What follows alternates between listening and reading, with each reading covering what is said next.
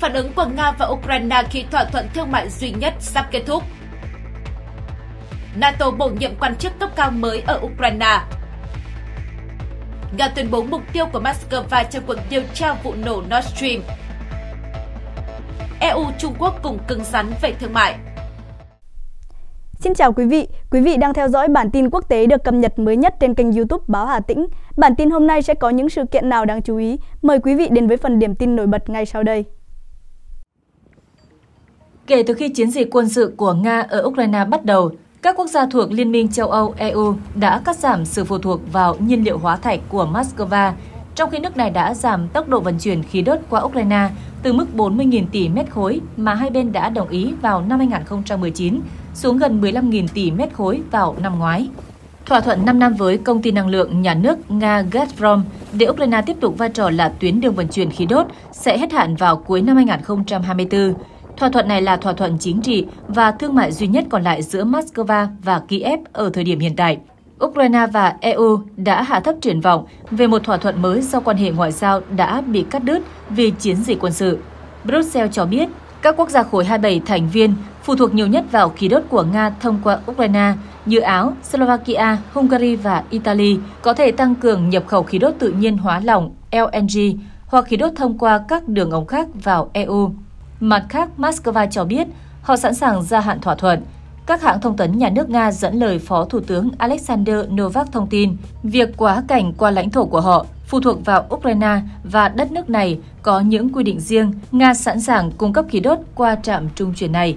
Thay vào đó, EU đã bắt đầu đàm phán với Azerbaijan để nhập khẩu thêm khí đốt tự nhiên của nước này. Nguồn khí đốt có khả năng chảy qua các đường ống của Ukraine và giúp duy trì vai trò quốc gia trung chuyển năng lượng. Azerbaijan đã tăng xuất khẩu khí đốt sang châu Âu lên tới 56% trong năm đầu tiên khi chiến dịch quân sự của Nga bắt đầu và đặt mục tiêu tăng gấp đôi vào năm 2027. Nếu xuất khẩu tiếp tục tăng như những thành tích trong 6 tháng đầu năm 2024, lượng xuất khẩu từ Azerbaijan sang châu Âu dự kiến sẽ đạt 12,8 BCM vào cuối năm 2024. Cố vấn Tổng thống Azerbaijan là Himat Hajizev nói với hãng tin Reuters rằng cả EU và Kiev đều yêu cầu Azerbaijan tạo điều kiện cho các cuộc đàm phán với Nga.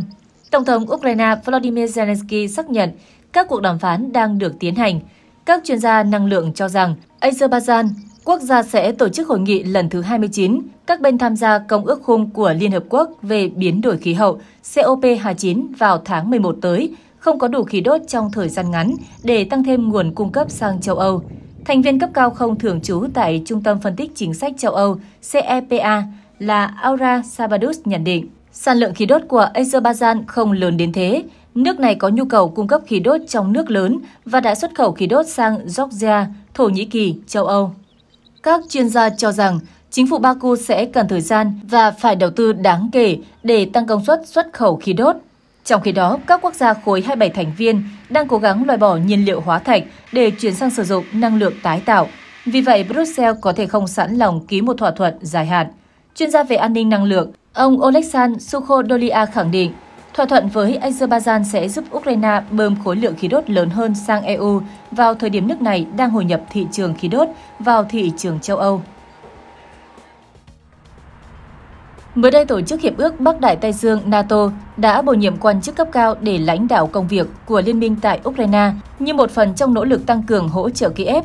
Tổng thư ký NATO Jens Stoltenberg cho biết, ông Patrick Turner, quan chức người Anh từng giữ nhiều chức vụ cấp cao trong NATO, sẽ đảm nhiệm vai trò đại diện cấp cao của Liên minh quân sự này tại Ukraine. Ông Stoltenberg tuyên bố,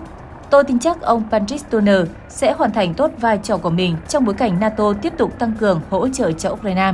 Tại hội nghị thượng đỉnh NATO, nhiều nhà lãnh đạo NATO đã nhất trí để liên minh quân sự này đảm nhiệm vai trò chính trong việc điều phối viện trợ quân sự và đào tạo cho Ukraine. Mặc dù NATO không cung cấp viện trợ sát thương, nhưng nhiều thành viên của tổ chức này lại là những nhà cung cấp vũ khí và đạn dược hàng đầu cho Kiev trong xung đột quân sự với Nga. Mới đây, Mỹ, Đức và Romania tuyên bố gửi thêm 4 khẩu đội Patriot cho Ukraine trong khi Hà Lan và nhiều nước khác cung cấp bộ phận của Patriot để tạo thành một khẩu đội khác. Italy cung cấp hệ thống phòng không SAMPT. Các đồng minh khác bao gồm Canada, Na Uy, Tây Ban Nha và Anh sẽ cung cấp một số hệ thống phòng không giúp Ukraine mở rộng phạm vi phủ sóng, bao gồm NASAMS, Hawk, Iris-T SLM, Iris-T, SLS và Gepard. NATO cũng đang lên kế hoạch tạo ra các con đường hậu cần quan trọng, cho phép triển khai nhanh chóng quân đội và vũ khí hạng nặng tới tiền tuyến. Động thái này sẽ tăng cường khả năng phòng thủ của châu Âu trước nguy cơ một cuộc tấn công tiềm tàng từ Nga. Được đặt tên là hành lang trên bộ, những tuyến đường này được thiết kế để đẩy nhanh việc di chuyển của binh lính và xe bọc thép đến các vùng chiến sự quan trọng. Điều này sẽ đảm bảo phản ứng nhanh chóng của phương Tây trước mối đe dọa từ Moscow. Theo quan chức NATO, hành lang trên bộ sẽ cho phép binh sĩ Mỹ đến các cảng được chỉ định và di chuyển lực lượng dọc theo các tuyến đường đã được lên kế hoạch từ trước để đến tiền tuyến. Kế hoạch hiện tại cho thấy lực lượng Mỹ sẽ điều bộ vào cảng của Hà Lan và sau đó di chuyển bằng tàu hỏa qua Đức để đến Hà Lan. Liên quan đến vụ nổ đường ống dẫn khí Nord Stream ngày 17 tháng 7, Ngoại trưởng Nga Sergei Lavrov tuyên bố Nga sẽ tìm ra sự thật về sự cố này. Trong một cuộc họp báo, ông Lavrov nói rằng nếu họ rời bỏ an ninh năng lượng, chúng ta sẽ phải thảo luận xem ai đã làm nổ đường ống Nord Stream. Ông khẳng định đây là chủ đề mà họ muốn kết thúc càng sớm càng tốt, tuy nhiên chúng ta sẽ tìm ra sự thật. Tháng 9 năm 2022, vụ nổ ở đường ống khí đốt Nord Stream và Nord Stream 2 xảy ra. Người ta tìm thấy dấu vết của chất nổ tại hiện trường vụ việc. Năm 2023, nhà báo Mỹ Sam Malhus công bố một cuộc điều tra, trong đó ông chỉ ra chất nổ dưới đường ống dẫn khí đốt được các thợ lặn Mỹ cài đặt trong các cuộc tập trận được cho là của NATO và nó đã được người Na Uy kích hoạt. Ông cũng lưu ý rằng Nhà Trắng có ý định buộc Đức phải hỗ trợ quân sự và tài chính cho Ukraine. Nga đang kêu gọi một cuộc điều tra quốc tế về vụ tấn công này. Trong cuộc phỏng vấn với nhà báo Mỹ Tucker Carlson được công bố hồi tháng 2 năm nay, Tổng thống Nga Vladimir Putin nói rằng cơ quan tình báo trung ương Mỹ phải chịu trách nhiệm về các vụ nổ ở Nord Stream. Tháng 4 năm nay, Quốc hội Đức Bundestag nói với Investia rằng nước này không quan tâm đến một cuộc điều tra minh bạch về vụ nổ đường ống Nord Stream, Nord Stream 2 và các cuộc tấn công khác mà lãnh đạo các nước phương Tây có thể tham gia. Lý do cho việc trên được cho là họ lo ngại cuối cùng sự thật về việc liên quan đến các cuộc tấn công khủng bố ở Mỹ và Ukraine có thể bị tiết lộ. Đầu năm 2024, Thụy Điển đã công bố kết thúc cuộc điều tra về vụ nổ làm tê liệt đường ống dẫn khí Nord Stream nối dẫn Nga và Đức. Giới chức Thụy Điển thông báo dừng cuộc điều tra sau khi xác minh rằng vụ việc không thuộc thẩm quyền của nước này. Công tố viên nhà nước Thụy Điển Mats Leungvis cho biết, mục đích chính của cuộc điều tra vụ Nord Stream mà Stockholm triển khai là để xác định liệu công dân Thụy Điển có tham gia vào hành động này hay không và liệu lãnh thổ Thụy Điển có được sử dụng để thực hiện hành động đó hay không. Kết quả điều tra cho thấy không có sự liên quan nào của phía Thụy Điển. Ông Lee Ungvis nhấn mạnh, trong bối cảnh hiện tại, chúng tôi có thể khẳng định quyền tài phán của Thụy Điển không áp dụng trong vụ việc này. Trước đó, giới chức Thụy Điển từng nhận định thủ phạm phá hoại Nord Stream có khả năng là một nhân tố nước ngoài. Thời gian gần đây, Trung Quốc và Liên minh châu Âu EU cùng có loạt động thái và tuyên bố bảo vệ lợi ích kinh tế hợp pháp doanh nghiệp của mình trước bên còn lại. Theo hãng tin Bloomberg, các động thái và tuyên bố cứng rắn này có nguy cơ leo thang thành một cuộc chiến thương mại và tác động tiêu cực đến nền kinh tế khu vực và thế giới. Tuần trước, Bộ Thương mại Trung Quốc tuyên bố sẽ điều tra xem các biện pháp gần đây của EU nhằm vào doanh nghiệp Trung Quốc có phải là hành vi cản trở thương mại hay không. Tờ China Daily dẫn tuyên bố từ Bộ Thương mại Trung Quốc cho hay, Thời gian qua, EU đã mở các cuộc điều tra đối với các doanh nghiệp Trung Quốc trong lĩnh vực công nghệ xanh, trong đó có xe điện, thu pin gió và pin năng lượng mặt trời. Chúng tôi sẽ xem xét liệu hành động này của EU có vi phạm các hiệp định kinh tế song phương hoặc gây ảnh hưởng tiêu cực đến quan hệ thương mại giữa Trung Quốc và 27 thành viên EU hay không.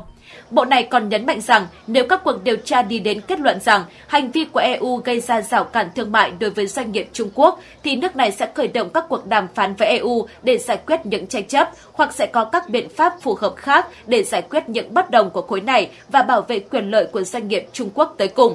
Theo hãng tin Reuters, động thái của Trung Quốc được xem là hành động đáp trả việc EU quyết định áp thuế gần 40% lên xe điện Trung Quốc vào đầu tháng này. Trước đó, hồi tháng 10 năm ngoái, EU đã điều tra và cáo buộc chính phủ Trung Quốc trợ giá xe điện, khiến giá thành sản phẩm này tại châu Âu rất rẻ, gây ảnh hưởng đến hoạt động của các doanh nghiệp châu Âu. Đầu năm nay, EU đã triển khai nhiều biện pháp nhằm ngăn chặn các công nghệ quan trọng như bán dẫn trí tuệ nhân tạo rơi vào tay các doanh nghiệp đối thủ, trong đó có doanh nghiệp Trung Quốc. Các biện pháp này gồm kiểm soát chặt chẽ các khoản đầu tư nước ngoài, thắt chặt xuất khẩu các công nghệ chủ chốt và tăng cường giám sát những người tham gia vào các dự án nghiên cứu công nghệ chung giữa Trung Quốc và EU. Đáp lại, việc Trung Quốc đã phản đối mạnh động thái trên của EU và tuyên bố sẽ có biện pháp đáp trả cứng rắn. Theo Reuters, Bắc Kinh đã tiến hành điều tra các sản phẩm nông nghiệp của EU như thịt lợn, rượu brandy để xem liệu các sản phẩm này có bị bán phá giá hoặc nhận trợ cấp bất hợp pháp gây thiệt hại cho doanh nghiệp Trung Quốc hay không. Đài CNBC dẫn lời Chủ tịch Phòng Thương mại EU tại Trung Quốc,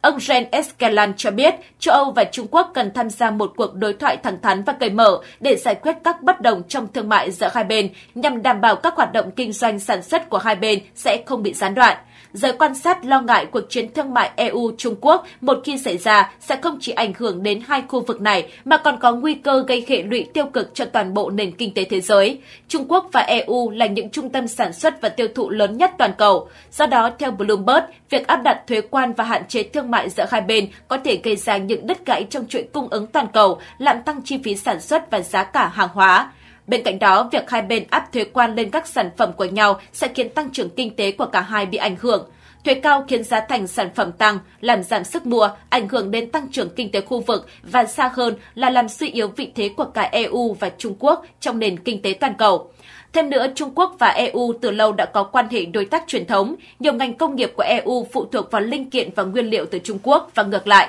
nên cuộc chiến thương mại Trung Quốc-EU nếu xảy ra có nguy cơ dẫn đến sự chậm chế trong quá trình nhập khẩu nguyên liệu, gây ảnh hưởng trực tiếp đến ngành công nghiệp sản xuất của hai bên và xa hơn là khả năng cung ứng hàng hóa trên toàn thế giới. Cuối cùng, một cuộc chiến thương mại giữa Trung Quốc và EU nếu xảy ra có nguy cơ gây hệ lụy đáng kể cho các nước có quan hệ thương mại chặt chẽ với hai khu vực này. Ví dụ ngành xuất khẩu của Đông Nam Á phụ thuộc lớn vào sức tiêu thụ của Trung Quốc và EU. Nếu bất ổn tại hai thị trường này sẽ tác động trực tiếp đến hoạt động xuất khẩu của khu vực. Chuyên gia phân tích thị trường Trung Quốc tại công ty tư vấn Albright Stonebridge Mỹ, ông Paul Chiolo nhận định, không ai muốn xảy ra một cuộc chiến thương mại giữa Trung Quốc và EU. Hai bên nên chọn cách xử lý khéo léo, linh hoạt vì rõ ràng một cuộc chiến thương mại vào thời điểm này không những gây nhiều hậu quả kinh tế đối với EU và Trung Quốc mà còn ảnh hưởng nghiêm trọng tới sự phục hồi kinh tế toàn cầu, cản trở nỗ lực chung trong việc phát triển kinh tế thế giới cũng như làm trầm trọng thêm mối quan hệ đối tác giữa Bắc Kinh và EU.